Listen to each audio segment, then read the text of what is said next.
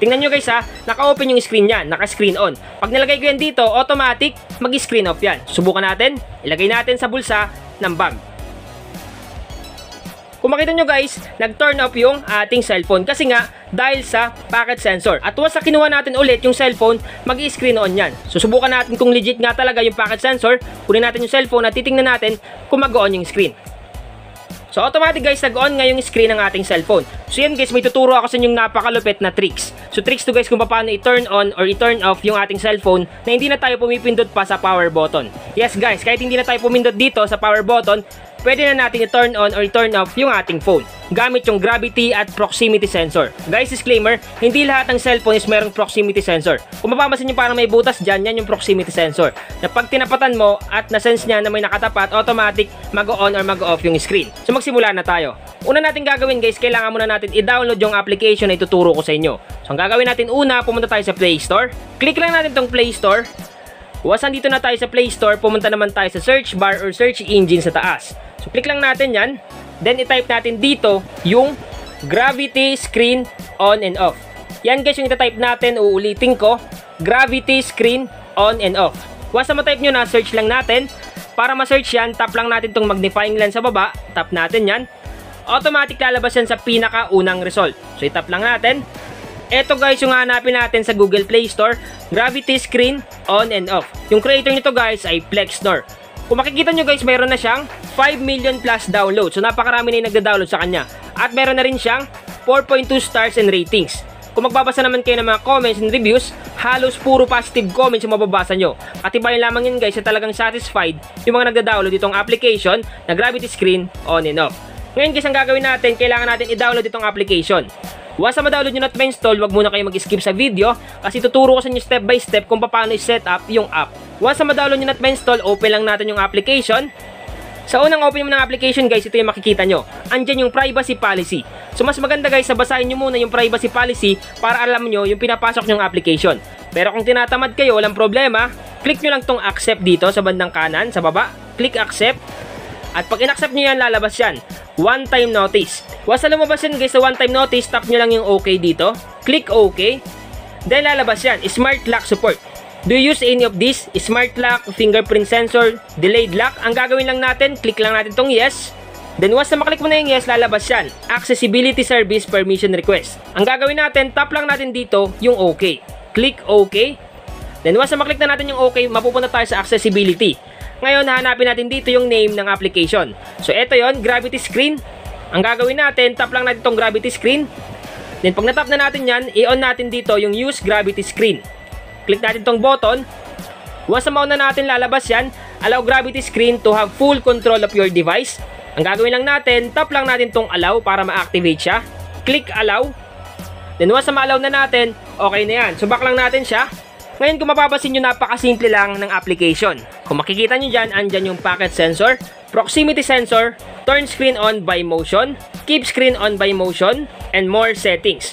Ngayon, paano nga ba to gamitin? So, iisa-isahin ko sa inyo yung features nitong application. Una, yung packet sensor. Ngayon guys, once na may lumabas pala na granting permission dyan, na please grant the following permission to allow this feature to work, tap nyo lang yung okay dyan. Then mapupunta kayo dyan sa display over other apps. Hanapin nyo lang dito yung pangalan ng application which is Gravity Screen on and off. So hanapin natin. So ito yung Gravity Screen. Tap lang natin. Kailangan natin dito i-allow yung display over other apps. Click lang natin tong button. Kung naklik mo na yan, back lang natin siya. Once na lumabas yung display over other apps, i-on nyo lang yun at i-allow. Para 100% gagana talaga yung application dito sa ating device. Ngayon, ipapaliwanag ko sa inyo kung paano gawin yung packet sensor. Pag sinabing packet sensor, itong cellphone natin, once na nilagay natin sa bulsa ng pantalon, sa bulsa ng shorts natin, or sa bulsa ng bag, automatic magto-turn off yung screen. So para patunayan sa inyo na legit yung sinasabi ko, ilagay natin to sa bulsa ng bag. So tingnan nyo guys ha, naka-open yung screen yan, naka-screen on. Pag nilagay ko yan dito, automatic mag-screen off yan. Subukan natin, ilagay natin sa bulsa ng bag.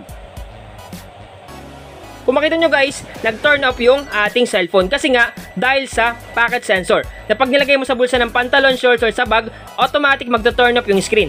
At once na kinuha natin ulit yung cellphone, mag-screen on yan. Susubukan natin kung legit nga talaga yung packet sensor, kunin natin yung cellphone at titingnan natin kung mag-on yung screen.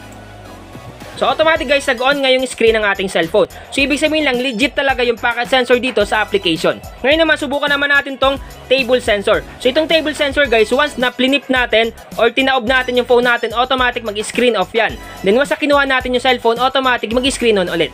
Susubukan natin, titingnan natin kung legit nga talaga. So makita nyo guys, naka-screen on yan. Then, i-flip natin o itaob natin.